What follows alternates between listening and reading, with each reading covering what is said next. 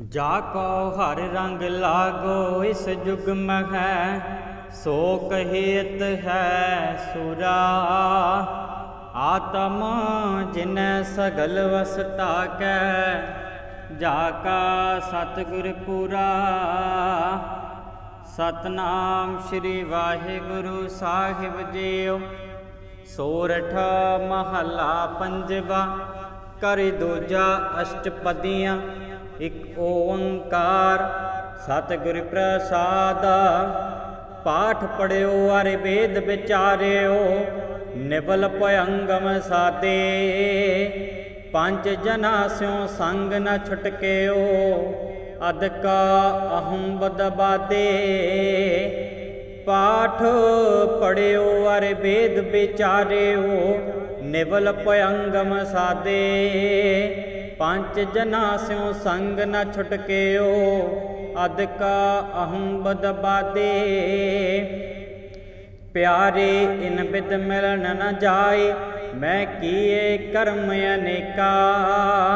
ਹਾਰ ਪਰਿਓ ਸੁਆਮੀ ਕੈ ਦਵਾਰੈ ਦੀਜੈ ਬੁੱਧ ਬਿਬੇਕਾ ਰਹਾਉ ਮੌਨ ਭਇਓ ਕਰ ਪਾਤੇ ਰਹਿਓ ਨਗਨ ਫਿਰਿਓ ਪਨ ਮਾਹੀ ਟਠ ਤੀਰਤ ਸਭ ਧਰਤੀ ਭ੍ਰਮਿਓ ਦੁਬਿਦਾ ਛੁਟਕੈ ਨਾਹੀ, ਮਨ ਕਾਮਨਾ ਤੀਰਥ ਜਾਏ ਬਸਿਓ ਸਿਰ ਕਰਵਤ ਤਰਾਏ। ਮਨ ਕੀ ਮੈਲ ਨਾ ਉਤਰੈ ਇਹ ਬਿਦਾ, ਜੇ ਲਖ ਯਤਨ ਕਰਾਏ ਕਨਕ ਕਾਮਿਨੀ ਹੈ ਬੁਰ ਵਰਾ ਬਹੁ ਬਿਦ ਦਾਨ ਦਾ ਤਾਰਾ।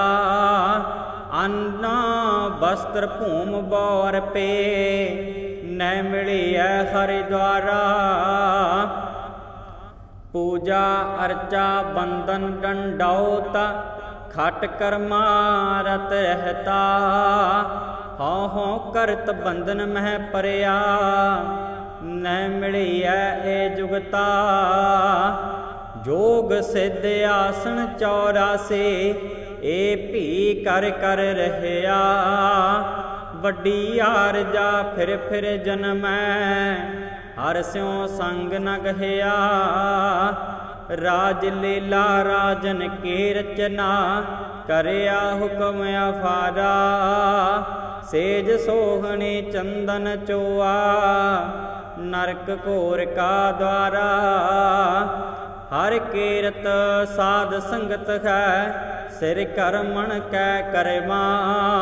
ਕਹੋ ਨਾਨਕ ਤਿਸ ਭਇਓ ਪਰਾਪਤਾ, ਜਿਸ ਪੁਰਬ ਲਿਖੇ ਕਾਲ ਹੈਣਾ